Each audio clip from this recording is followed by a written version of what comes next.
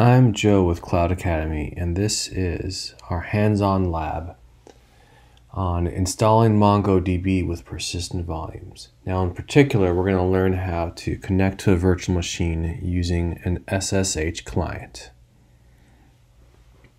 So, in this lab, we can start within the hands on lab itself, and the beauty of it is we can just op click Open Console and it's going to auto populate an AWS console for us to use. So we don't have to get credentials from somewhere else or anything. So we're going to pop in our provide student ID, go straight into EC2, and we're going to find our running instance. So you'll see we have one here. It's called mongodb.server.instance. There it is. So we know that's running. Now, some other cool stuff we get in the lab is we get a PEM key. Now, in this case, uh, we're using a PEM key because we're logging in with Mac OS, and it would be the same thing with Linux. And we would start to by get grabbing this command right here. It says SSH space dash I. So I'm pasting it right here in my notepad. And there's different components to this command. Um, SSH is obviously what we're going to try and do. The dot, the dash I, so that initiates the SSH connection. Dash I specifies the identity file.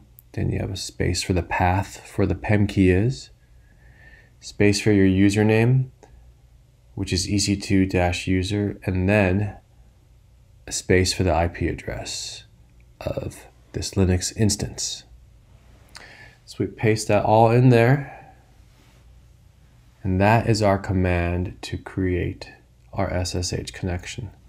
So we'll take that and we're going to go into terminal or into a terminal window and we enter that and then we get some sort of an error. It says, uh-oh, a connection can't be established. Okay.